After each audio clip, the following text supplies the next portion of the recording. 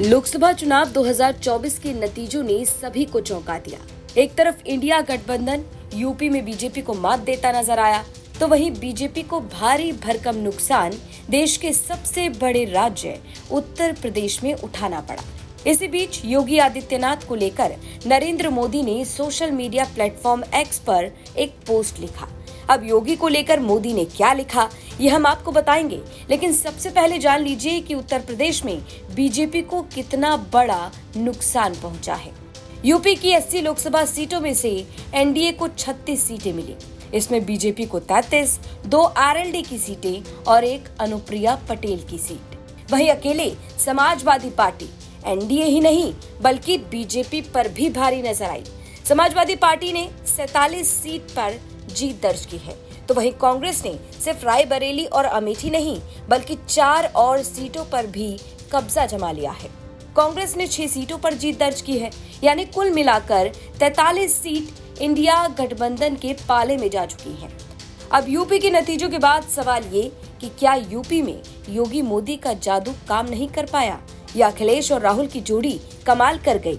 या फिर कारण कुछ और ही है? या फिर उत्तर प्रदेश में बड़ा खेल हो गया है। यूपी में बीजेपी के बड़े बड़े दिग्गजों को हार का सामना करना पड़ा और सबसे ज़्यादा चर्चा है अमेठी से स्मृति ईरानी की हार की।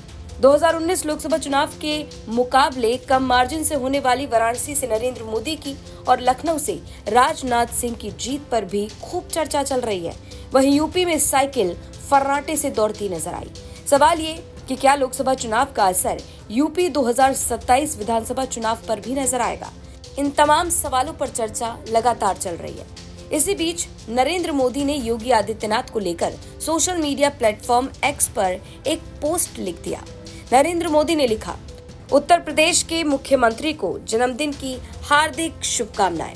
वो यूपी की प्रगति और गरीबों और वंचितों को सशक्त बनाने के लिए काम कर रहे हैं। मैं आने वाले समय में उनके लंबे और स्वस्थ जीवन की कामना करता हूँ। बता दें कि आज यानी 5 जून को योगी आदित्यनाथ का जन्मदिन है। नरेंद्र मोदी ने पोस्ट कर योगी आदित्यनाथ को बधाई दी, लेकिन यूपी में हुए नुकसान पर ये चुप्पी बड़े सवाल खड़े कर रही है। सबसे हैरानी की बात तो ये, अयोध्या वाली फैजाबाद सीट से भी बीजेपी को शर्मनाक हार का सामना करना पड़ा और सपा के अवधेश प्रसाद की जीत हुई।